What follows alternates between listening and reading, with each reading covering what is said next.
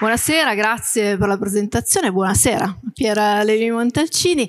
Um, questa sera faremo una chiacchierata un po' anche informale, quindi insomma cercheremo di, di ripercorrere non solo la vita di, di, Rita Levi Montalcini, ma cercheremo di concentrarci un po' sul, sul tema che poi è anche il tema dell'edizione di quest'anno di Torino Spiritualità, che è un po' l'imperfezione. Eh, l'imperfezione torna molto nel lavoro e nella vita di, di Rita Levi Montalcini, tanto che eh, lei stessa ha scelto proprio questa parola, imperfezione, come titolo per un libro famosissimo eh, che, ehm, che, è anche autobiografico, no? e che si chiama appunto L'elogio dell'imperfezione, che è, stato, è uscito anche come tema alla maturità, no? quindi insomma, esatto. E, quando io avevo letto, io eh, non so se gliel'ho raccontato, comunque io ho un passato da diciamo neuroscienziata, anche se dire neuroscienziata in un contesto dove, dove, si parla di Rita Levi Montalcini mi rendo conto che suona un po' così. Diciamo neuroscienziata dilettante, nel senso che ho fatto ricerca all'università per qualche anno e quindi, come tutti gli studenti, insomma, chiaramente Rita Levi Montalcini no? era un po' il, il mito, il modello da, da seguire. Avevo letto avevo prima visto il libro, mi aveva molto incuriosito questo titolo, no? L'elogio dell'imperfezione. E tu dici, ma una persona che ti sembra così perfetta, non solo per l'aspetto, perché era oggettivamente no? perfetta, ma anche per questa carriera incredibile, eh, una donna in, que- in, quegli anni, riuscire ad arrivare a quei livelli, no? riuscire a fare queste scoperte, dicevo, ma si vede che è piemontese probabilmente, quindi c'è un po' l'understatement no? del, del vabbè, ma dai, c'è l'imperfezione, però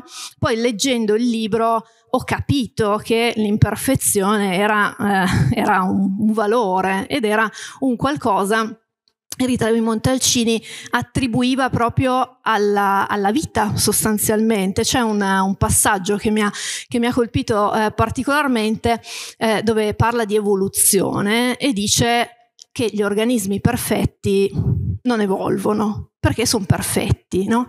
Invece l'evoluzione avviene quando c'è una mutazione e quindi un'imperfezione e allora da lì poi si sviluppa la vita per come, per come la conosciamo oggi. Per cui questa imperfezione che adesso con, con Piera Levi Montalcini proveremo a, a, a, ripercorrere è un'imperfezione profonda che, che, appunto viene sempre vista come un qualcosa di negativo ma in realtà è un po' un, po un motore, no? un motore di cose che succedono nella vita. E quindi ehm, io ho segnato sostanzialmente tre, tre, tre punti che, che, mi piacerebbe insomma un po' sviluppare con, con lei questa sera, ehm, che sono tre punti chiave che eh, segnano un po' tutto il, il lavoro della, zia, della zia, perché lei la chiama la zia e quindi, quindi questa sera esatto la chiameremo la zia e che sono un po' il caso l'impegno e l'intuito, che sono tre caratteristiche che Rita Levi Montalcini ha sempre eh, dichiarato no? essere un po' alla base della, della, sua vita. Allora io partirei un po' dal, dall'inizio, dando per scontato che molti qua sappiano delle cose ovviamente della vita della zia, ma ci sono anche magari persone che vogliono fare un ripasso, magari insomma non sono così sul pezzo come, come dicono i giovani eh, e quindi vorrei partire proprio dall'inizio perché una cosa che mi raccontava anche lei nella chiacchierata che abbiamo fatto per preparare questo incontro era che, eh, che la zia non è che avesse questa mh, visione sul, quando era giovane, no? questa visione sul lungo periodo e dire voglio fare la neuroscienziata. Lei non sapeva bene quello che voleva fare. No, non, eh, non, sapeva che cosa voleva fare, eh, anche perché eh, probabilmente aveva le ali tarpate dai fratelli che sapevano tutti che cosa volevano fare, perché ciascuno di loro aveva delle doti ben, ben precise. Eh, mio padre fin da piccolo eh, disegnava benissimo e scolpiva, eh, la zia Paola dipingeva e disegnava e zia Nina scriveva favole, novelle, cose del genere. E zia Rita si trovava in mezzo a questi tre che avevano ben chiaro che cosa avrebbero fatto da grande. E invece lei ondeggiava, non, non era ben decisa su quello che avrebbe fatto. E in più l'aggravante è stata il fatto che il nonno ha mandato le figlie femmine alla scuola femminile, quella scuola, quel liceo femminile eh, che era nato dalla riforma gentile e che eh, man, era pensato per creare delle buone madri e mogli. E quindi le buone madri e mogli imparavano a far di cucina, a tenere la casa, a ricamare, eccetera, eccetera, ma non andavano all'università, quindi finita la la maturità eh, a questo liceo non c'era sbocco verso eh, nessuna università. Papà invece aveva seguito anche lui in queste eh, diciamo forme familiari di andare dietro alla novità, aveva fatto il eh, liceo moderno che era credo, un liceo classico dove mancava il greco e si studiava un po' di più matematica e ha rimpianto tutta la vita di non aver studiato il greco, però poi eh, è stata molti, una molti buona, oggi non sarebbero è stata, d'accordo. È stata una buona scusa per agganciare mia madre che invece studiava lettere e che quindi l'ha agganciata come la signorina che doveva insegnargli il greco e le ha chiesto di sposarla. Ah, il greco è stato la, diciamo, eh, il motivo per. Quindi, a proposito di caso. A proposito, a proposito di, di, caso. Beh, il caso, il caso anche lì è il caso, quello dove si sono conosciuti papà e mamma in cantina, e si sono conosciuti in cantina il primo giorno di bombardamenti a Torino, eh, dove mia madre arriva giù, erano intorno a mezzanotte, era notte, eh, mia madre e la sua famiglia arrivano giù con la vestaglia i, i Levi arrivano giù tutti vestiti di put, tutto punto con i loro amici con cui stavano tenendo una serata di, di discorsi vari, c'era Casorati, c'erano eh, i vari amici di famiglia. Quindi eh, papà scopre che questa signorina non era una signora e quindi non era sposata e poteva chiedere la mano eh, della mamma e così ha fatto. E, e quindi c'è il caso. Comunque la zia Nina, la, le, le, zie eh, si ritrovano, zia Paola va nello studio di Casorati, non c'era bisogno di una laurea, zia Nina per scrivere non ha bisogno di una laurea perché eh, bastava portare i eh, vari articoli ai giornali, infatti c'è una sua lettera da ragazzina in cui scrive al padre ho scritto una novella, adesso girerò tutti i giornali di Torino per vedere se qualcuno me la pubblica.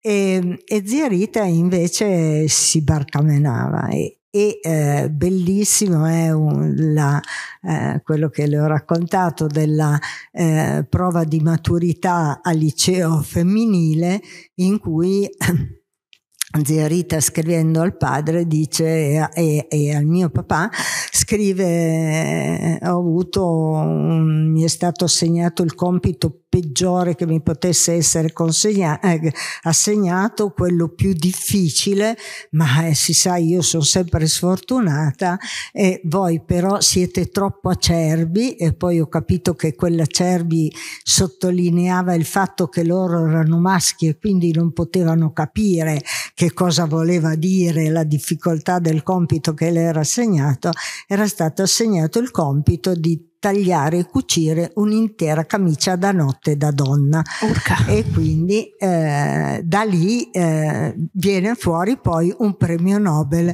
che in effetti devo dire sì. con gli spilli poteva essere una sarta no, e invece ma perché con gli spilli poi la zia ha avuto molto a che fare perché gli spilli erano quelli che lei limava e forgiava per poter lavorare sotto il microscopio e lavorare sugli embrioni di pollo. Ma infatti quindi... adesso agli embrioni di pollo ci arriviamo, però prima eh, c'è, c'è, l'iscrizione a, a, medicina, si laurea in medicina nel 36 e ha raccontato che all'epoca eh, nel suo corso c'erano solo altre sei donne quindi che si sono laureate con, con, lei, anzi erano solo in sei, di cui, la cito proprio testualmente, solo due eravamo realmente impegnate, nel senso che le altre si erano iscritte a medicina per poi andare comunque a fare probabilmente le mogli e, e le madri, mentre invece due avevano l'obiettivo di diventare medici, no? Di, di, di, eh, non solo perché una sua compagna è diventata pediatra, e poi la mamma di una mia amica, quindi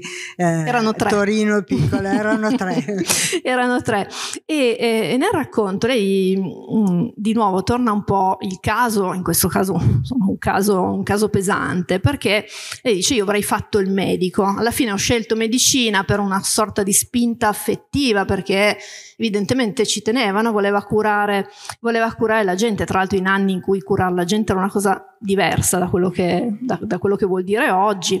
E dice poi però con le leggi razziali e con tutto quello che, che è successo, quel mio progetto di vita si è dovuto interrompere, no? E lei in un documentario che, che, che Piera mi ha, mi ha, girato, è molto bello tra l'altro, che racconta appunto, che è un'intervista a Rita Levi, Rita Levi Montalcini, ehm, e lei a un certo punto dice, io grazie, poi un grazie tra molte virgolette, certo. no? a Hitler e a Mussolini, sono diventata quello che sono. Perché? Perché altrimenti, senza le leggi razziali, senza tutto quello che è successo, io probabilmente sarei diventata un medico, avrei fatto la mia carriera, a questo punto l'intervista era di fine anni 80, no, fine anni 90 più o meno. È, del 99. Eh, del no, ah, quindi aveva già più di 90 anni. Aveva già più di 90 anni, dice a questo punto sarei in pensione, effettivamente a più di 90 anni uno sarebbe in pensione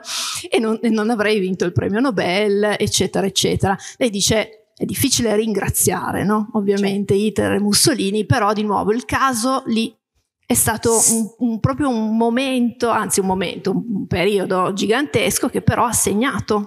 Sì, eh, il caso segna la nostra vita sempre e la, la grande capacità è quella di cogliere l'attimo fuggente perché se uno ha delle perplessità e se uno non ha coraggio di provare di, di, di buttarsi insomma ma si fa frenare dalle paure ovviamente eh, perde un sacco di occasioni. Eh, diciamo che eh, l'imperfezione nell'elenco che lei ha fatto delle eh, cose di Zerida manca la curiosità ah, che è, no, una, una, delle eh, peculiarità eh, che, muovono, eh, che muovono il ricercatore e che muovono, eh, che dovrebbero muovere tutti noi, cioè il fatto di eh, vivere un, in un mondo in cui diamo per scontato eh, tantissime cose, eh, alla fine eh, ci, mh, mm, come dire, eh, ci priva della capacità di trovare l'imperfezione per poterla migliorare. Eh, quello che è importante è vedere cosa si può migliorare in tutto quello che abbiamo intorno a noi per vivere meglio e direi che molte cose le sono state fatte per carità, soprattutto negli ultimi, negli ultimi, nell'ultimo secolo eh, in cui abbiamo trovato il modo di non far fatica, di non camminare che ci fa malissimo benissimo eh, di non fare un mucchio di cose e di farle fare alle macchine. E però tutte queste macchine possono essere perfezionate e man mano si può andare avanti con nuovi, nuove scoperte anche perché eh, automaticamente l'imperfezione e la curiosità fanno sì che l'umanità vada avanti. Eh, sarebbe bello che non ci impegnassimo così tanto a inventare armi e metodi di distruzione e invece inventare qualcosa che ci faccia star bene. Purtroppo i grandi finanziamenti e, e tutta la parte computer eccetera è nata proprio dalla dalla parte militare, cioè per necessità militari. Però questo è un altro, è un altro tema tutto diverso. Sì, anche il... se comunque un po' collegato, no? perché poi da lì l'insegnamento no? della, della, zia è quello di dire da un, un evento tragico, no? io riesco comunque a tirarci fuori un qualcosa di, di positivo. Sì, eh, in effetti ogni, ogni, ogni, cosa che ci succede eh, ti dà poi la possibilità di avere anche dei risvolti positivi e di fare delle cose positive dopo. Eh, nel momento in cui li subisci è dura, però eh, devo dire che in famiglia anche il periodo della guerra e, eh, era una delle domande ricorrenti che io facevo a zia Rita, mia madre, eh, a quelli che la guerra l'avevano passata è come avete fatto a superarla perché eh, con le leggi razziali, la, la, paura di essere presi e eh, la loro anche incoscienza nel non eh, difendersi troppo, eh, il fatto di, di affrontare tranquillamente tutto e andare avanti avanti e mh, concentrarsi su quelli che erano i loro, eh, i loro interessi eh, per me è straordinario, però in effetti il concentrarsi sui loro interessi è quello che ha fatto in modo che potessero eh, affrontare una situazione tragica. Quindi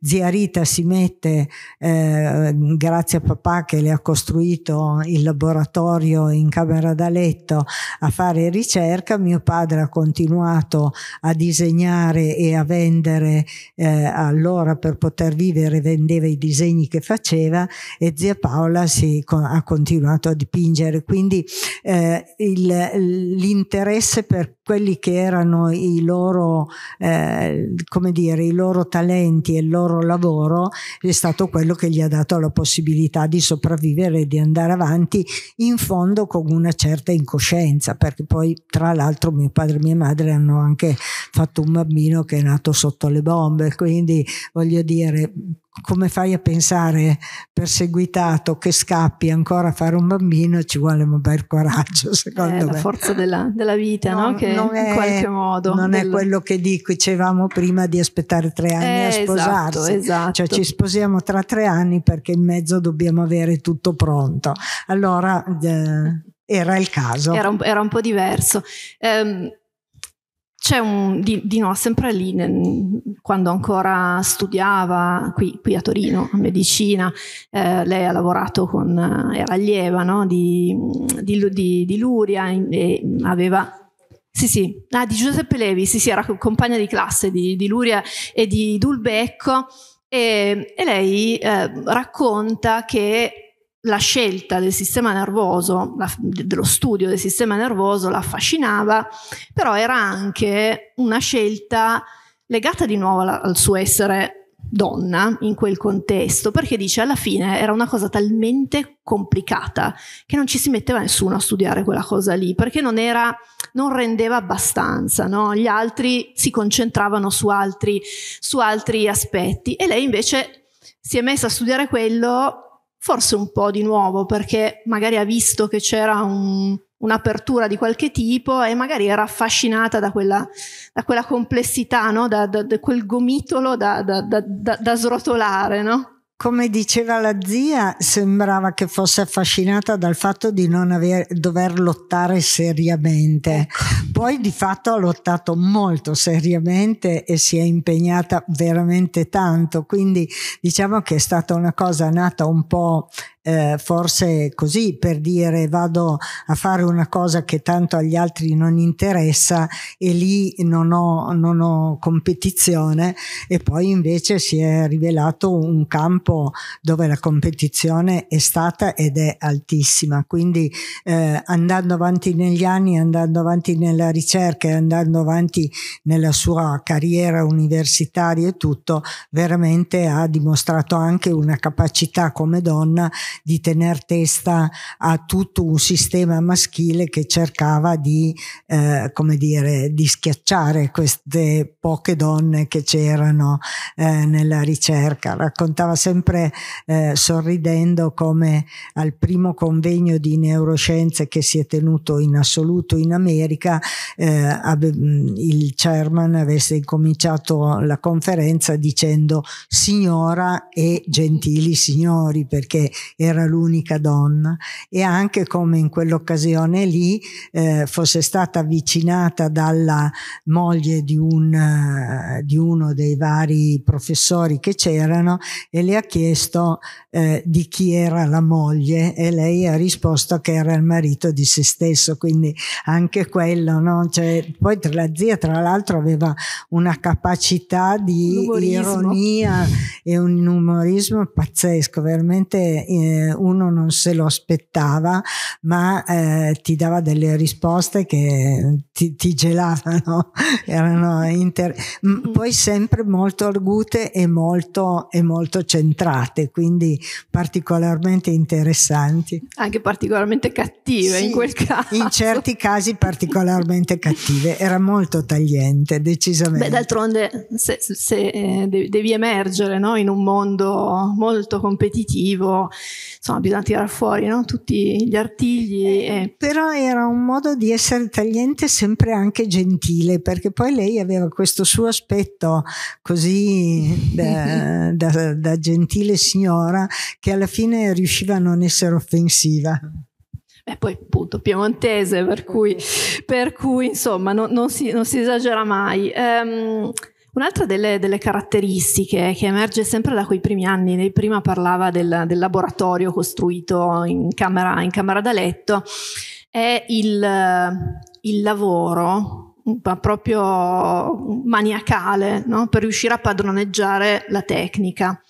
Eh, sempre in questa, in questa intervista che, che, che, ho visto, no? lei racconta di come eh, lei dice sempre io non ero particolarmente so, più intelligente degli altri, cioè non, è, non, avevo grandi doti, a un certo punto dice la mia dote più grande è l'intuito, secondo me ne aveva molte altre, però comunque eh, va bene, però tra le doti in realtà che si riconosceva c'era proprio quella di dell'impegno, no? del voler a tutti i costi diven- pa- padroneggiare una tecnica che era la tecnica dell'epoca per, per visualizzare i, i neuroni, eh, tecnica che insomma che poi quella esatto, quella di Golgi, di Cahal che, che, poi tutti noi studenti abbiamo poi imparato no? e, abbiamo, e, abbiamo, studiato, quello era il periodo in cui non è che le studiamo, cioè le mettevano in pratica no? per, per le prime volte e, e, lei è arrivata probabilmente a, a essere la persona al mondo che che, che, applicava meglio no? queste, queste, tecniche. Lo faceva lì, nella camera da letto, con gli spilli. Com'era questa cosa degli spilli? Sì. Eh, gli spilli, gli spilli sotto, eh, sotto, il microscopio sembrano dei veri bisturi e, e, la zia che aveva queste mani così sottili aveva la possibilità di padroneggiare molto bene quegli spilli, gli spilli delle sarte, eh, non, sì, sì, niente d'altro. Cioè lei con la la carta vetro li limava e, eh, e venivano fuori tutti gli attrezzi necessari per poter fare delle operazioni agli embrioni.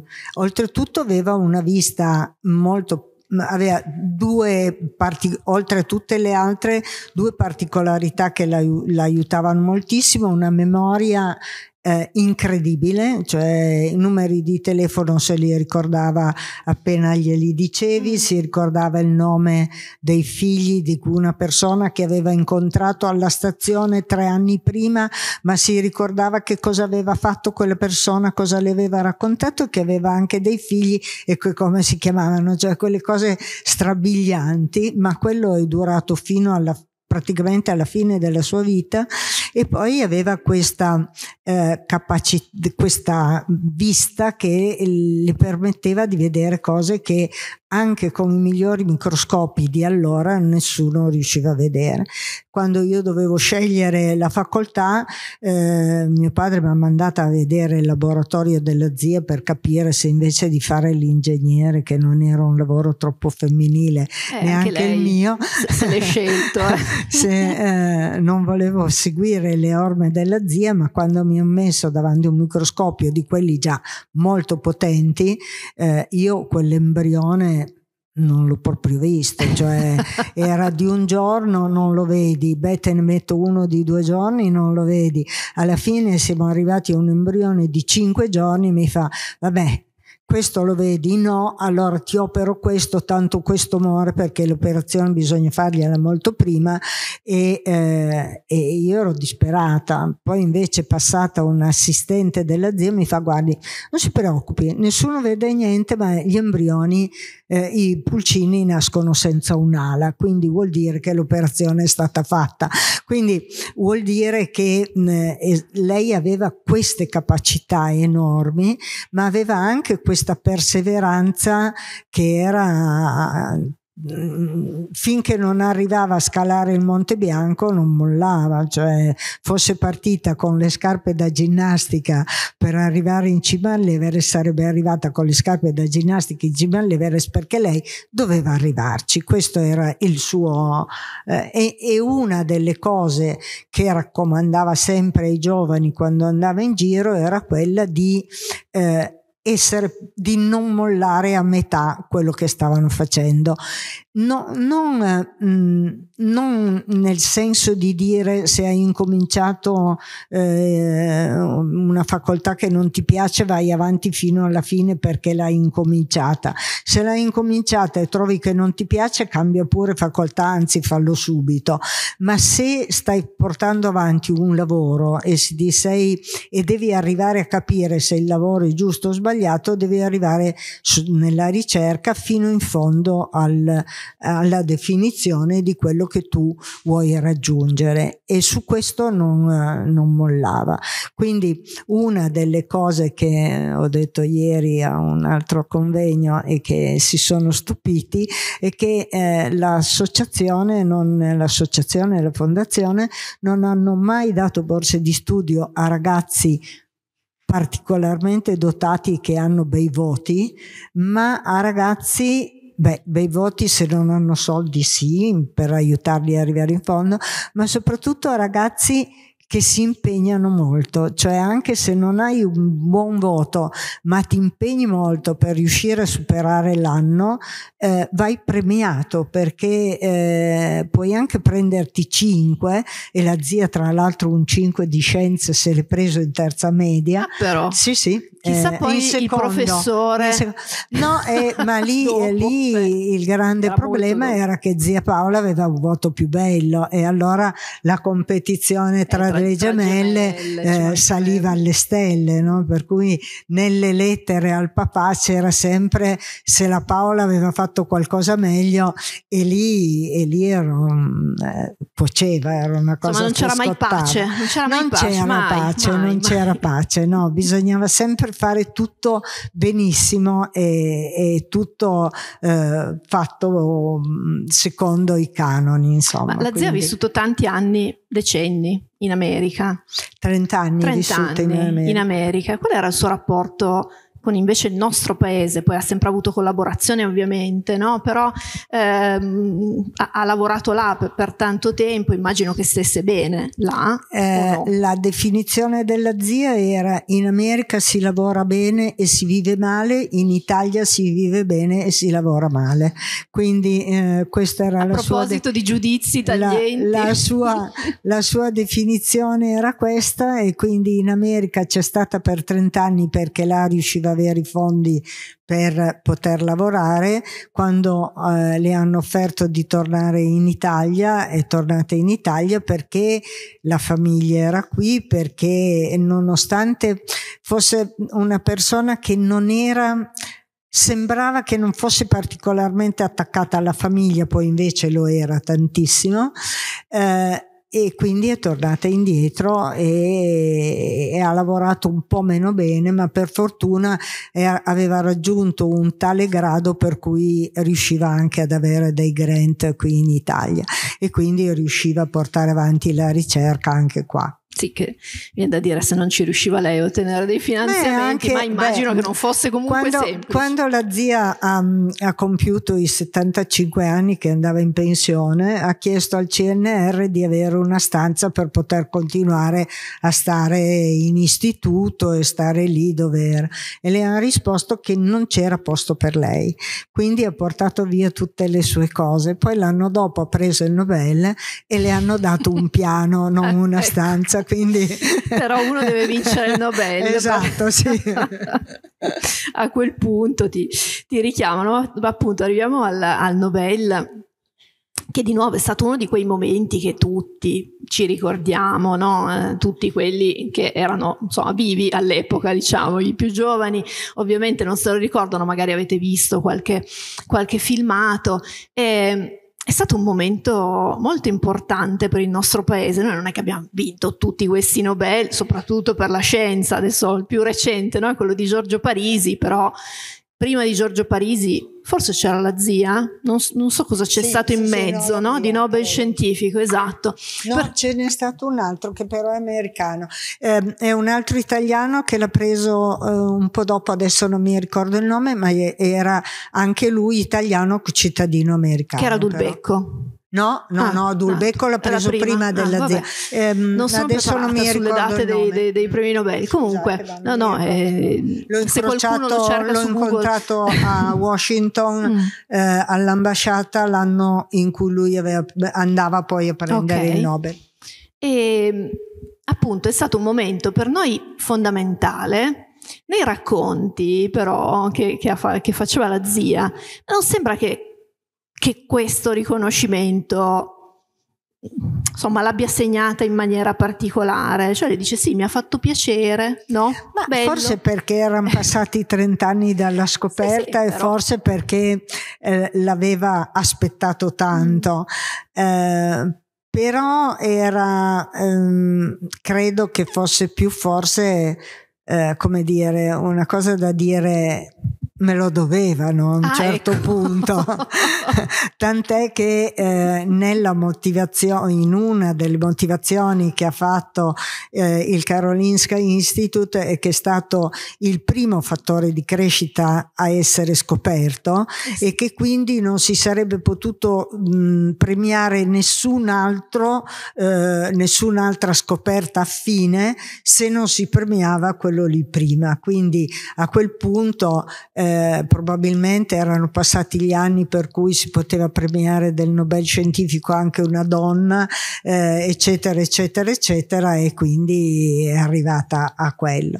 Eh, di, la, la, premiazione è stata una cosa ovviamente eh, fiabesca, quindi mm-hmm. non eh, descrive... Lei aveva questo vestito bellissimo, sì, mamma sì, mia, sì, lo ricordate? Eh scuro, no? Era nero. No, era verde scuro, verde scuro, viola e rosso scuro e sì. rossa, rosso scuro nelle, mh, mm, nella cintura eccetera mm-hmm. quindi eh, era veramente e poi con quel po' di strascico che esatto. faceva subito abito da, da, ce, da grande cerimonia e insomma. si vede che quando il re le consegna, Però, le consegna il premio non lei, so lei se avete, mm. se avete mh, osservato io poi l'ho, l'ho fatto notare più di una volta volta, ma soprattutto lo faccio notare ai bambini, quando la zia eh, scende la scala era eh, l'unica donna quella, eh, in quella tornata lì a prendere il Nobel,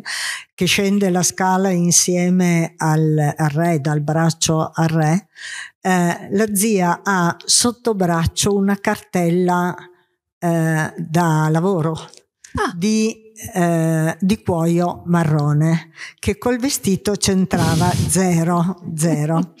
Eh, quella cartella di cuoio marrone eh, conteneva il discorso che lei vole- doveva fare alla, eh, alla cena e eh, e tutti noi a dirle zia dammi questa cartella che te la porto sotto non puoi scendere le scale come non l'ha mollata perché lì c'era il suo discorso. Eh sì. e se si fosse dimenticata di qualcosa o se la cartella non fosse arrivata sarebbe stata una tragedia poi la cartella non l'ha aperta, il discorso l'ha fatto a braccio, si ricordava a memoria tutti i collaboratori che doveva nominare, l'ha fatto e della cartella non c'è più stata traccia, però c'è quella fotografia che se voi andate a vedere è, eh, è, cioè è l'emblema però di quanto una persona, per quanto mh, affermata sia, per quanto eh,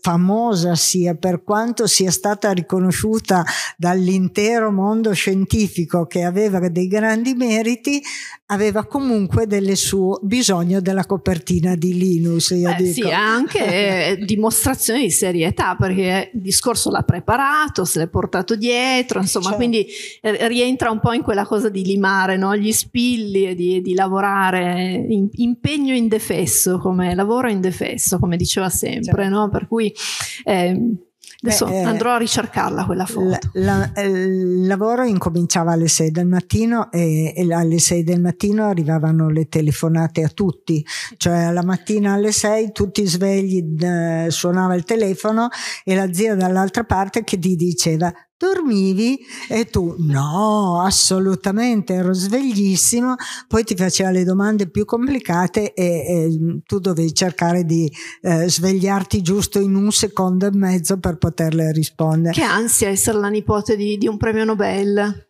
No, non era Con le domande. era anche divertente. Do- dovevate elencare i fattori di crescita. Cosa, cosa chiedeva? No, no, cose- no, io come ingegnere ero esonerata da questo. Non le chiedeva di guardare gli embrioni di pollo, però questo l'abbiamo, No. l'abbiamo capito. Però i circuiti, no? ingegnere elettronica, quindi insomma i Beh, circuiti. io devo dire che il fatto di aver studiato ingegneria e di aver studiato robotica, soprattutto di aver lavorato nella robotica, mi ha fatto, eh, come dire, mi ha aperto un mondo perché quando mi dicevano vai a vedere cosa fa zia Rita non mi avevano spiegato bene cos'era il fattore di crescita nervoso e che dietro c'era un cervello umano che faceva delle cose.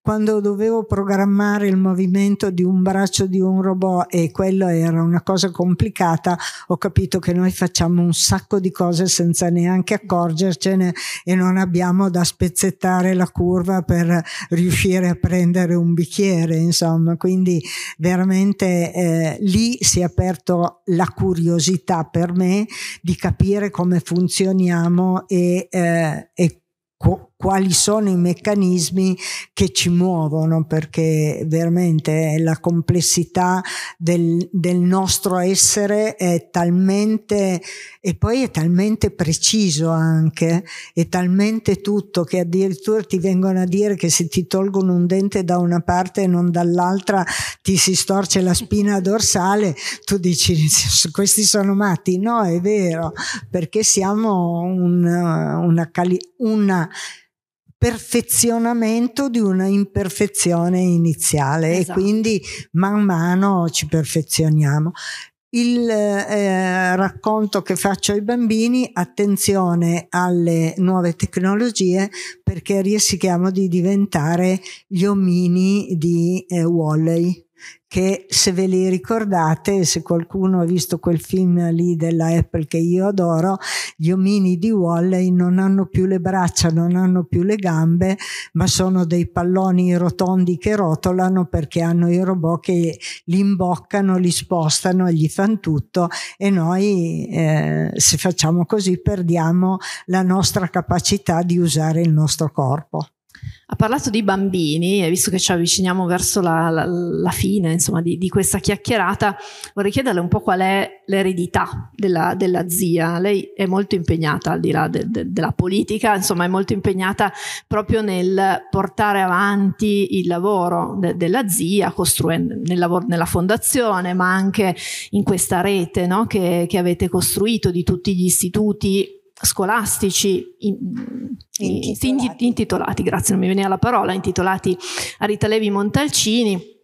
E mi raccontava prima che è sempre in giro, insomma, fondamentalmente in giro nelle scuole a raccontare, no? a, a condividere, così come ha fatto questa sera con noi, la vita, ma anche appunto le- le- il metodo, la curiosità, insomma, quindi queste cose che, che hanno spinto la, la- la zia eh, e che l'hanno poi portata al premio Nobel. Quindi volevo chiederle appunto che, che cosa, no, dove sta andando in questo momento il lavoro della zia e la zia stessa? Ma eh, il lavoro della zia è, è quello che, cioè è l'eredità che ha lasciato lei e la famiglia in generale eh, di testare tutto quello che è novità senza mai aver paura di, della novità. La novità eh, c'è per forza, l'evoluzione c'è per forza, eh, non si può piangere eh, eh, dicendo prima era meglio, rimpiangendo oppure strappandosi i capelli perché i nuovi lavori tolgono, lavori, tolgono eh, il lavoro, la specializzazione di vecchi mestieri, anche se alcuni secondo me andrebbero molto conservati perché erano delle capacità manuali che si stanno perdendo, eh, perché eh, l'evoluzione è eh, verso qualcosa di più della comprensione, cioè noi mh, non, non, sappiamo nulla praticamente, siamo agli albori del capire, del sapere. A questo proposito racconto sempre il, uh, un aneddoto sulla scuola rabbinica che si incontra e dice che cosa faremo nell'aldilà perché eh, l'eternità è lunga e a far niente per l'eternità ci stuferemo, quindi come impiegheremo l'eternità per, eh, per non annoiarci? E un rabbino dice passeremo tutta l'eternità a chiedere a Dio quello che non abbiamo capito sulla terra e un altro dice ma a forza di far domande avremo esaurito le domande. No, perché ogni risposta ci provocherà altre tre domande, quindi non finiremo mai, cioè la sete di sapere, la sete di conoscere, la sete di scoprire e di, eh, eh, di essere curiosi verso quello che non sappiamo e che vorremmo sapere ed è lì eh, l'intuito, cioè l'intuito è quello che ti aiuta anche a capire che cosa potresti fare per conoscere di più oltre alla curiosità.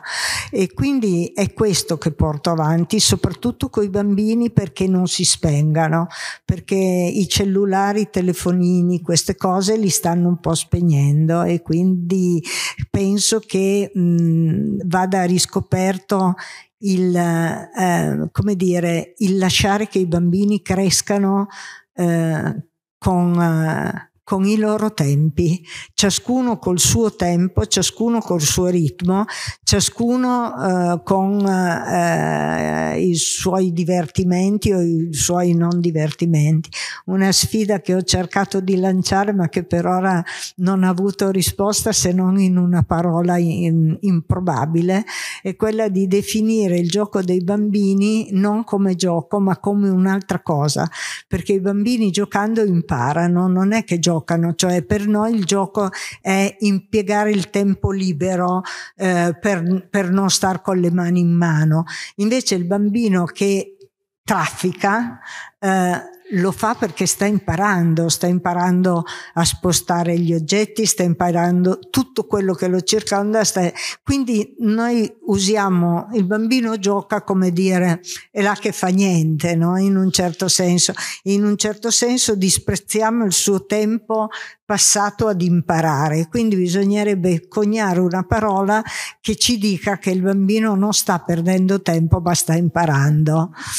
Va bene, se c'è qualcuno che ha voglia di, di provare a cimentarsi con, questo, sì, con questa è, sfida. È una sfida questa, perché veramente mm. c'è una parola che esiste già in italiano, ma è talmente complicata che nessuno la userà mai. esatto. E tra l'altro nel, nel gioco c'è l'errore per tornare poi al, all'origine no, della, della nostra chiacchierata. Il gioco è sbagliare, fare, sbagliare fare errori, ti crolla la torre, trovi e, il modo e, di tenerla su. Il difetto grosso è che il bambino che sbaglia e riprova eh, è lasciato vivere. Il, il, già il ragazzino che sbaglia rischia di essere preso in giro e redarguito e invece eh, di lì impara, insomma, abbiamo sì. tutti imparato sbagliando. E continuiamo sì. a sbagliare almeno. E, ehm, chiudo mm, leggendo una frase che, che, ha scritto Rita Levi Montalcini proprio nella, nel suo libro L'elogio de, dell'imperfezione, proprio perché è proprio il tema della, sia dell'edizione di Torino Spiritualità sia di quello che abbiamo cercato di, di, raccontarvi questa sera.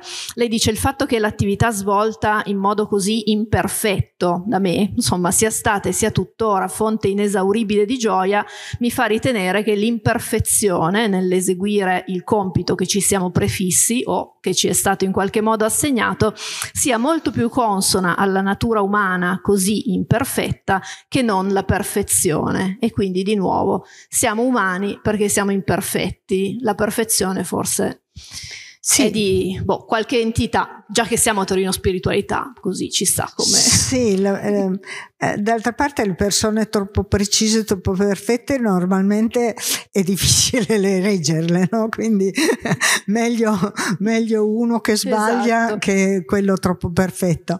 E, ehm, no, l'imperfezione, l'errore, l'imperfezione, la curiosità sono tutte cose che devono andare di pari passo e che devono eh, rendere la persona eh, umana anche, no? cioè capace di eh, usare il tempo e di apprezzare quello che ha e di apprezzare le cose che gli capitano e, eh, e nel tempo fare un po' di tutto eh, perché così si arricchisce.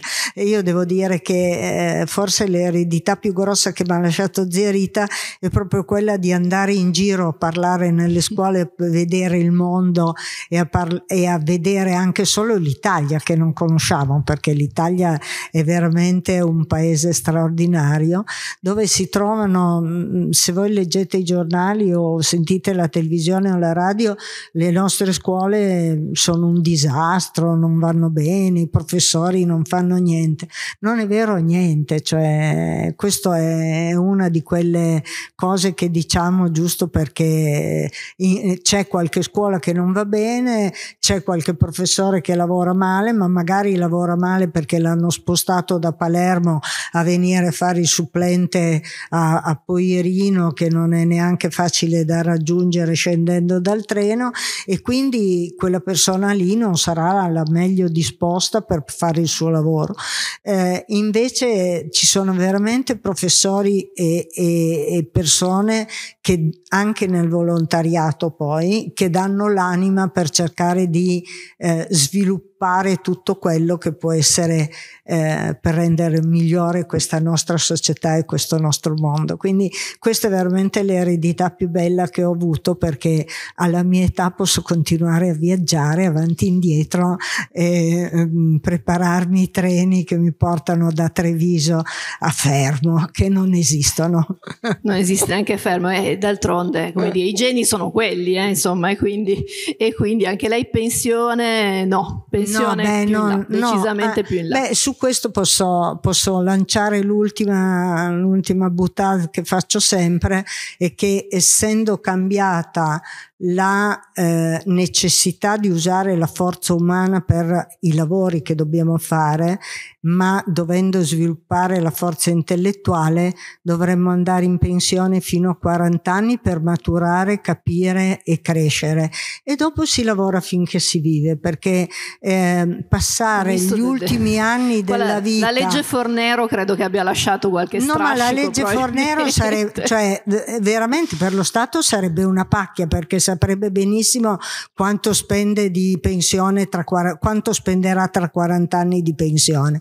Ma a parte questo, è, per me è veramente eh, soprattutto in certi paesi più piccoli, è triste vedere le persone anziane che passano la giornata a eh, involversi su loro stesse perché non hanno un vero impegno da affrontare. Cioè il fatto di doversi alzare la mattina anche presto perché devi fare qualcosa è, eh, è la vita ed è il detto della zia aggiungere vita ai giorni e non giorni alla vita, cioè aspettare di morire è tremendo ed è tragico. Continuare a vivere programmando che da qui a dieci anni faremo ancora delle cose, io continuo a programmare tra vent'anni perché ho ancora venti e più anni davanti, quindi per me questi venti e più ci sono ancora. Poi magari domani mattina verrete tutti al mio funerale se ne avete avete voglia. Mi auguro di no, di no esatto. perché in questo momento ho ancora delle cose da, importanti da fare. Ma mh, voglio dire, il fatto di continuare ad avere dei progetti, avere dei programmi certo. e avere l- la speranza di portarli avanti o di lasciarli già incamminati per altri è molto meglio che eh, star lì a aspettare eh, che qualcuno ci venga a prendere e ci porti chissà dove. Ecco, e con questo finale così un po', un po discendente, io ringrazio in realtà Piera Levi Montalcini. Però per... di speranza. No, ma certo, ma ci mancherebbe di, di discendente perché alla fine è quello che capita a tutti, però eh, signori, arriviamoci No, ma sai qual è, qual è il mio problema? È che io i 40 li ho passati e quindi adesso penso, ho lavorato fino a qui. 60 e eh no, eh, penso alla pensione che non ho fatto prima e che non farò perché io non la farò. Appunto, e quindi, dopo, e quindi sarà cui... costretta a lavorare eh, so. finché campa. Lo so, eh, gra- grazie, grazie Piera Levi Montalcini. grazie a tutti voi.